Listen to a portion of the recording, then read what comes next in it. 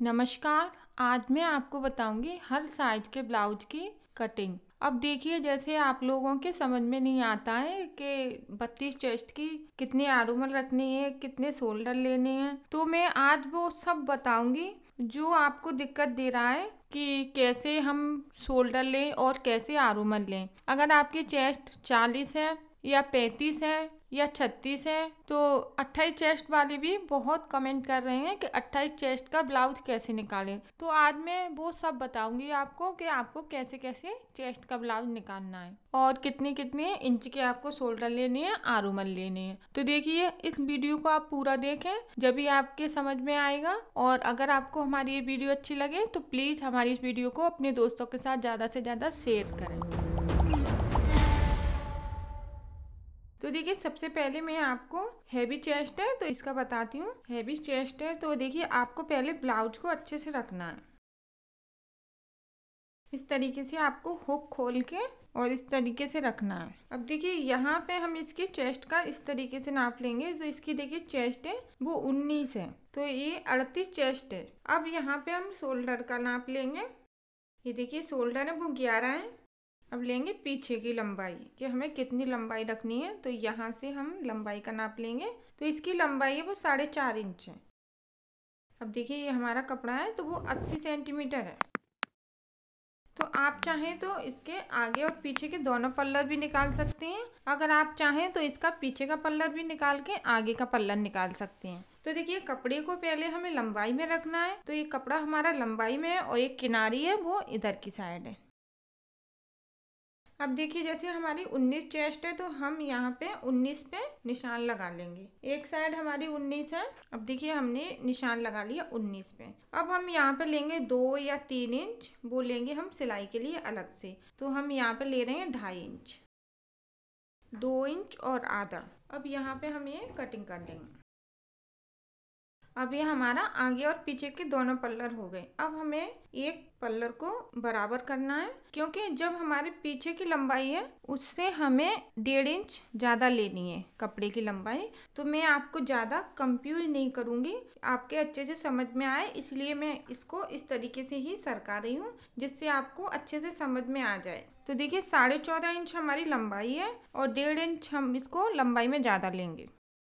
क्योंकि नीचे की साइड हम तुरपाई करेंगे, डेढ़ इंच हम कपड़े को नीचे की साइड छोड़ेंगे और यहाँ से साढ़े चौदह इंच होना चाहिए। अब देखिए बराबर है, ये साढ़े चौदह इंच है और डेढ़ इंच हमारा नीचे की साइड है। तो ये हमारा पूरा हो गया सोलह इंच सोलह इंच है पीछे का और आगे का हम लेंगे वो डेढ़ या दो इंच लंबाई में ज़्यादा लेंगे पीछे वाले से। तो यहाँ पे आप देख रहे हैं ये लंबाई ज़्यादा है तो दो इंच ज़्यादा ले लेंगे। आगे का। अब हम इसको डबल कर लेंगे। इस तरीके से डबल करना है। यहाँ पे हमारा छोटा बड़ा है, इसको बराबर कर लेंगे। अब इसके बाद हम लेंगे यहाँ पे शोल्डर तो शोल्डर जैसे हमारे 11 इंच है तो हम यहाँ पे 6 इंच रख लेंगे। ये हमारा 6 इंच शोल्डर हो गया। अब आरूमल लेंगे बोलेंगे हम 6 इंच। अब यहाँ पे हम देखिए इंची टेप को इस तरीके से रखेंगे, आधा इंच। और इसमें हम यहाँ पे ये गोलाई का निशान लगा देंगे। अब करेंगे हम आरूमल की कटिंग अब हमें गले की कटिंग करनी है। अब देखिए, यहाँ से हम अपने गले का नाप लेंगे। एक छः इंच है लंबाई गले की। आगे वाले की और पीछे की अलग है। तो हम इसको पीछे वाले को निकाल लेंगे। क्योंकि पीछे की लंबाई ज़्यादा है, इसलिए हमें हटा देंगे। अब आगे की हम छः इंच की लंबाई लेंगे, ढाई इंच की चौड़ाई।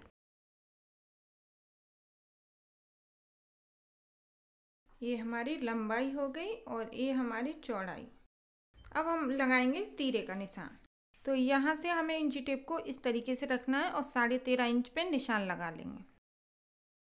अब एक इंच हम ऊपर लेंगे, गले वाली साइड है, हमारा जो गला है वहाँ पे। एक इंच ऊपर लेने के बाद इसको हम इस तरीके से जोड़ देंगे। ये हमारा तीरे का निशान हो गया।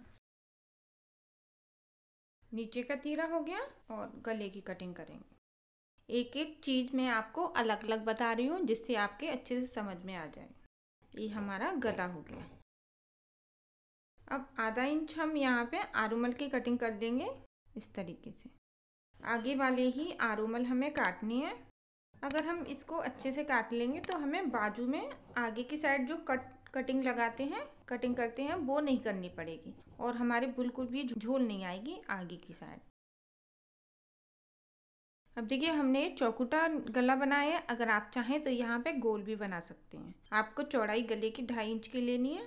अब इसके बाद हम लगाएँगे यहाँ पे टक्स का निशान। तो देखिए, यहाँ पे हम 10 इंच पे निशान लगा लेंगे टक्स का। ये हमारा 10 इंच हो जाएगा। अब देखिए, जैसे हमारी चेस्ट 19 है एक साइड तो हम इसको आधा कर लेंगे।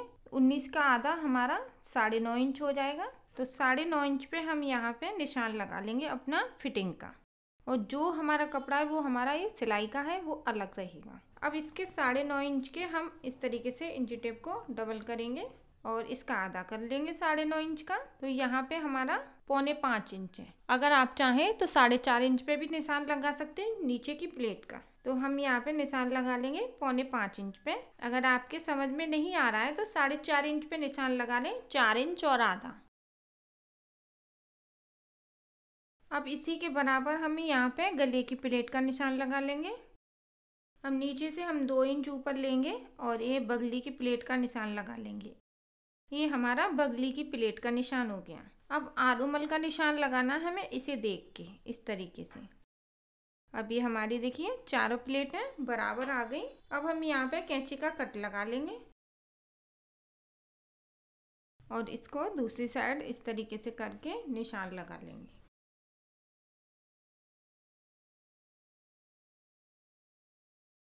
अब ये कैंची के कट हैं तो इससे हमें प्लेट डालने में आसानी रहेगी और प्लेट हमें सेप में डालनी है। जो मैं आपको बताती हूँ, प्लेट को यहाँ से आपको आधा इंच लेना है। और यहाँ पे कम करते हुए आपको उतारना है। और ये हमारा नीचे का तीरा है। यहाँ पे हम तीरे की एक इंच कटिंग कर लेंगे, क्योंकि प्लेट डालने के बाद तीरा बड़ा हो जाता है तो हमें यहाँ पे एक इंच कटिंग करनी है। अब ये देखिए हमारा नीचे का तीरा हो गया। ये हमारे आगे के पल्लर हो गए, अब पीछे का गला निकालेंगे। अब हम अपने पीछे की गले की लंबाई का नाप लेंगे। यहाँ से इंची टेप को इस तरीके से रखना है तो इसकी जो लंबाई है वो साढ़े नौ इंच है। पहले हमें लंबाई का निशान लगाना है, साढ़े नौ इंच पे।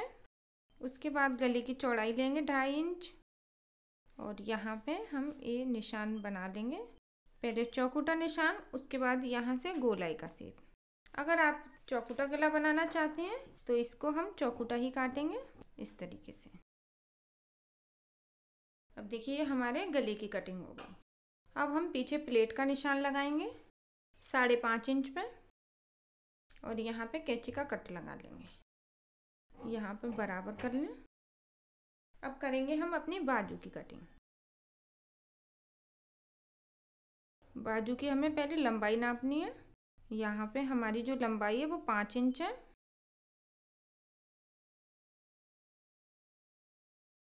अब हम यहाँ पे लेंगे डेढ़ इंच जो हमारा सिलाई में और तुरपाई में जाएगा। अब यहाँ पे लेंगे हम पाँच इंच।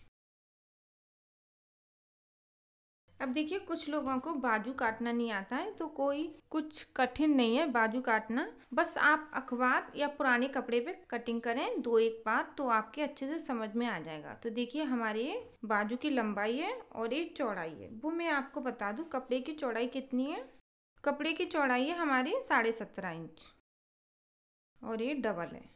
अब इसको हम डबल करेंगे। अब हम यहाँ पे निशान लगाएँगे कटिंग का। तो हम यहाँ पे निशान लगाएँगे, वो तीन इंच का लगा लेंगे। अब ये ज़रूरी नहीं है कि आप जब निशान लगाएँ तो तीन इंच का निशान लगाएँ। आप दो इंच का भी लगा सकते हैं, ढाई इंच का भी लगा सकते हैं। तो यहाँ पे हमने तीन इंच का निशान लगा लिया है और इसको हम इस तरीके से तिरछा निशान लगा लेंगे। अब देखिए क्या है इसमें कठिन देखिए कितना सिंपल है बाजू की कटिंग करना। अब यहाँ पे थोड़ा सा हम अपनी मोरी की कटिंग कर लेंगे। और एक कपड़ा हमारा अंदर की साइड चला जाएगा तुरपाई का। और यहाँ पे हमें पाँच इंच की लंबाई मिल जाएगी। आधा इंच हमारा इस सिलाई में चला जाएगा। अब देखिए हमारी बाजू की कटिंग एकदम सिंपल और सरल तरीके से बताइए मैंने आपको। अब ये हमारा पीछे का है। और ये हमारे आगे के पल्लर हैं। अब मैं आपको अट्ठाईस चेस्ट का ब्लाउज बताऊँगी कटिंग करके। अब देखिए, अट्ठाईस चेस्ट का बहुत कम, अट्ठाईस चेस्ट का ब्लाउज बहुत कम आता है सिलने के लिए। लेकिन मैंने अस्तर लिया है आपको बताने के लिए। देखिए, कपड़े को पहले हमें डबल करना है। अगर आप चाहें तो लंबाई में भी काट सकते हैं। अगर आप पीछे का पल्लर निकाल के बनाना चाहें तो पीछे का पल्लर भी निकाल के बना सकते हैं। तो देखिए, जैसे अगर आप अट्ठाईस चेस्ट का ब्लाउज बना रहे हैं तो देखिए यहाँ पे आपको चेस्ट लेनी है चौदह इंच। इस तरीके से चौदह इंच आपको चेस्ट का कपड़ा लेना है। अगर आपका यहाँ पे बॉर्डर है तो आपको पहले पीछे का पल्लर निकालना है, उसके बाद आगे का। तो देखिए, अब मैं आपको इस तरीके से बता रही हूँ। पहले आपको सिंपल कपड़ा है तो आपको इस तरीके से निकालना है। अट्ठाईस चेस्ट लेनी है तो आपको यहाँ पे चौदह इंच लेना है। उसके बाद आप यहाँ पे गुंजाइश के लिए ले लें। अगर आपका बॉर्डर है तो आपको पहले अपनी लंबाई का नाप लेना है। जैसे आपकी लंबाई है, वो बारह इंच है तो आप यहाँ पे बारह इंच पे। अगर आपका ब्लाउज तुरपाई वाला है तो आपको डेढ़ इंच ज़्यादा लेना है लंबाई में। अगर आपका ब्लाउज अस्तल वाला है तो आपको एक इंच ज़्यादा लेना है। तो देखिए आजकल अस्तर वाले ब्लाउज ज़्यादा चल रहे हैं तो एक इंच हम ज़्यादा लेंगे तो यहाँ पे हम लंबाई ले लेंगे तेरह इंच। बारह इंच की लंबाई है तो हम तेरह इंच लेंगे पीछे का पल्लर, और शोल्डर लेंगे हम इसके साढ़े पाँच इंच। आरोमल भी साढ़े पाँच इंच। अब चेस्ट का निशान लगा लेंगे हम यहाँ पे सात इंच पे। अब हम यहाँ पे लेंगे गुंजाइश, एक या डेढ़ इंच। आरोमल हमारे साढ़े पाँच इंच है। इंची टेप को इस तरीके से रखेंगे, आधा इंच पे इसको इस तरीके से गोलाई का सेप। अब गले की चौड़ाई लेनी है हमें यहाँ पे, ढाई इंच। अगर आप पतले हैं तो आप सवा दो इंच ले लें।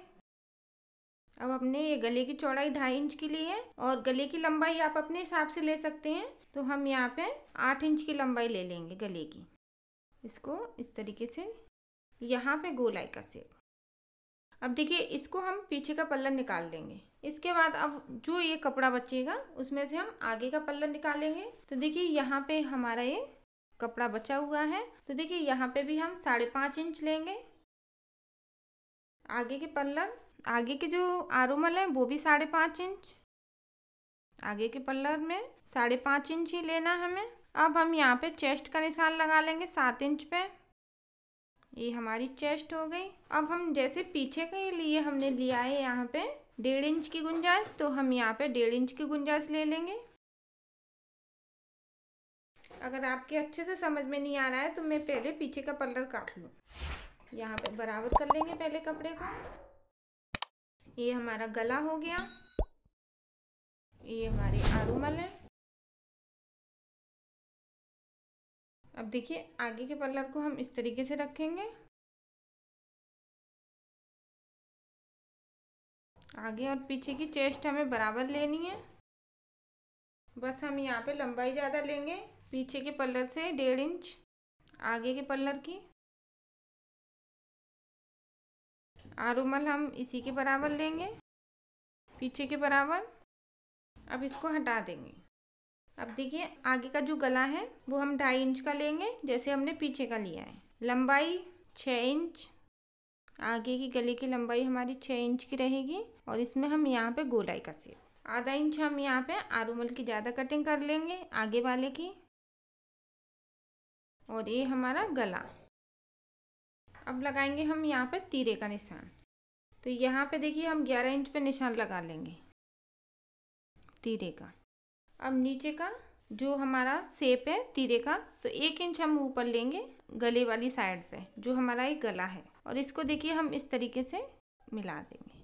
ये हमारा तीरे का सेप अब देखिए, पहले हम यहाँ पे तीरे की कटिंग कर लेंगे।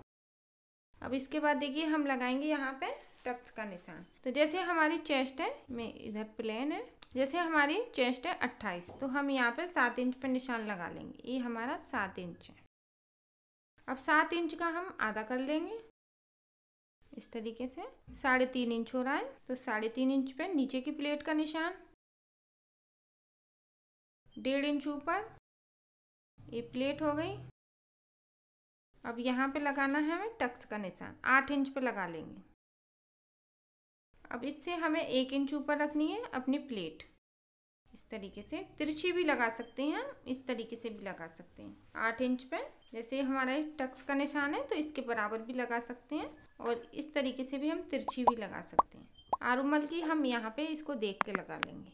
ये देखिए कितना सिंपल है। कितने भी चेस्ट है, आप इसी तरीके से ब्लाउज निकाल सकते हैं। बस मेन प्लेट हमारी ये नीचे की होती है, वो आपको बराबर देख के निकालनी है। इतना कपड़ा आपका सिलाई में चला जाएगा और ये प्लेट हमारी बराबर आएगी बीच में। अब देखिए, जैसे मैंने यहाँ पे 11 इंच लिया है, आपको लगेगा कि ये 11 इंच लिया है हमें लंबाई 12 इंच की रखनी है। तो यहाँ पे आप जब प्लेट डालेंगे तो ये छोटा हो जाएगा और इसका तीरा, जो हमारा ये पीछे का पल्लर है, इसी के बराबर हमारा ये तीरा आएगा। तो जब हम इसको पहले इसमें इस तरीके से प्लेट डाल लेंगे और यहाँ पे ये जुड़ जाएगा और इतना छोटा ही तीरा हमारा इसमें लगेगा। इसमें ये सिलाई में चला जाएगा, नीचे की साइड, और इसको हम इस तरीके से रख लेंगे। अगर आपका अस्तल वाला है तो इसी के बराबर आपको रखना है। अगर तुरपाई वाला है तो जो भी कपड़ा है वो आप अंदर की साइड इस तरीके से तुरपाई कर लेंगे। तो ये देखिए कितना सिंपल है अट्ठाईस चेस्ट का ब्लाउज। या चालीस चेस्ट का ब्लाउज इसी तरीके से आपको निकालना है। अब देखिए बाजू के लिए आप लंबाई अपने हिसाब से ले सकते हैं। कितनी आपको इसकी लंबाई रखनी है? चौड़ाई आपको लेनी है इसकी सत्रह इंच। सत्रह इंच की चौड़ाई लेनी है आपको। आ, अगर आप नहीं हैं तो अठारह इंच की भी चौड़ाई ले सकते हैं। तो हम यहाँ पे सत्रह इंच की चौड़ाई लेंगे कपड़े की। अब देखिए यहाँ पे हम बाजू की लंबाई रखेंगे तीन इंच। तीन इंच हो गया लंबाई, एक इंच हमारा सिलाई में चला जाएगा। और कपड़े की चौड़ाई हमें सत्रह इंच की लेनी है। तो देखिए, सत्रह इंच है और इसको हम डबल कर लेंगे। अब यहाँ पे जो खुली वाली साइड है, यहाँ पे निशान लगा लेंगे, दो इंच पे और इसको हम इस तरीके से ले जाएँगे ऊपर की साइड। अब देखिए, ये हमारी बाजू की कटिंग हो गई। छोटी बाजू की ऐसे ही कटिंग करनी है। तो ये हो गई हमारी छोटी और बड़ी साइज़ की कटिंग ये हमारा बड़ा साइज़ है और जैसे कुछ लोग बोल रहे थे, अट्ठाईस चेस्ट का ब्लाउज तो मैंने उनके लिए भी ये अट्ठाईस चेस्ट का ब्लाउज बता दिया है। ये हो गई हमारी अट्ठाईस चेस्ट की कटिंग और कम या ज़्यादा चेस्ट की आपको अगर कटिंग करनी है तो आप इसी तरीके से कम या ज़्यादा चेस्ट की कटिंग करेंगे। अगर आपको हमारी ये वीडियो अच्छी लगी है तो प्लीज़ हमारी इस वीडियो को अपने दोस्तों के साथ ज़्यादा से ज़्यादा शेयर करें। अगर आप हमसे कुछ पूछना चाहते हैं तो प्लीज़ आप हमें नीचे कमेंट करें। अगर आपने हमारे चैनल को सब्सक्राइब नहीं किया है तो प्लीज़ हमारे चैनल को सब्सक्राइब कर लें। धन्यवाद।